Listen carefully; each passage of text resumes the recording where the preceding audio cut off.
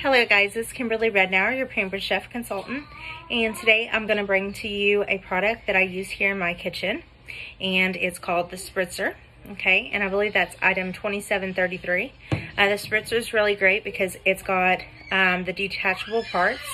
Um, this makes it easy to clean. It also has a filter down here at the bottom, as you can see at the bottom of that tube.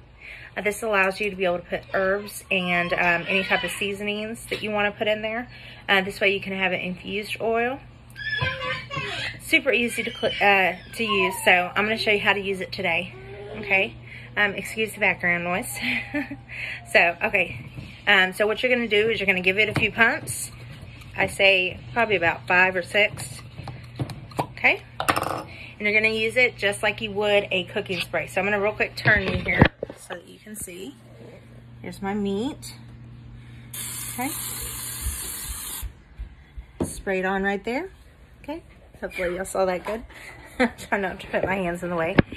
All right, so it's super easy to clean, uh, super easy to use, and um, it's a product that we love and we use in our home. So I hope you guys enjoyed y'all's um, little showcase for the moment, and um, I look forward to showing you guys more products. All right, have a great day.